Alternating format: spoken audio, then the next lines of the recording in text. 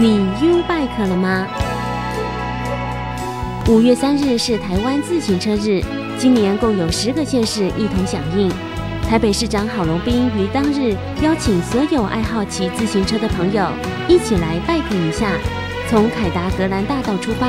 途经北市著名的林荫大道、仁爱路，用悠闲和缓的速度来体验台北市的美，并齐喊“有骑有健康，五三齐很大”口号。